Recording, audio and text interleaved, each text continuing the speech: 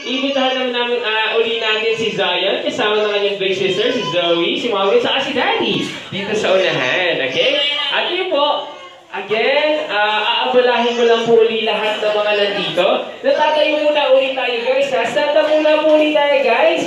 Mapa-adult man po, mapa-kids. Sasanda muna lahat po tayo, okay? Kasi this time is going to be a very important moment for Zion as we all gather to celebrate his birthday celebration here at Jollibee.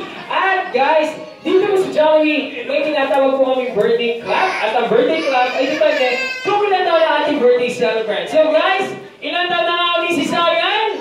One! Bigyan natin si Zion ng isang malakas na malakpak. One! At syempre, yan yung mga bunso natin. Kuya, sanda muna tayo. Sina Alexander, sina Kuya Carlo. O, sanda muna tayo. Dahil ngayon, we're going to sing a birthday song for Zion. Kaya Jollibee, ready na tayo ha? Ready na Jollibee. o, lahat tayo guys! Hey! Happy birthday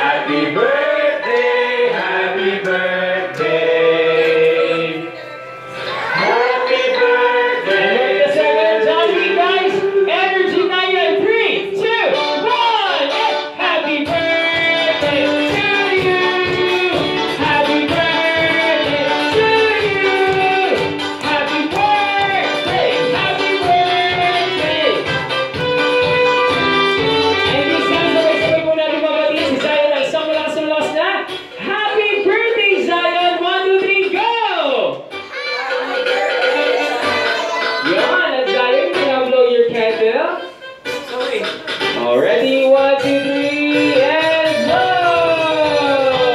Palawanan natin si Zion dahil si Visual na one year old na ating birthday celebrant. So guys, again, maraming maraming salamat. Pwede na po kayo uli kayo magsiupo. At ngayon si Zion, dito muna si Zion dahil Zion, tapos na ah, malapit na kami mata si John Lee, naghanda na siya ng birthday dance.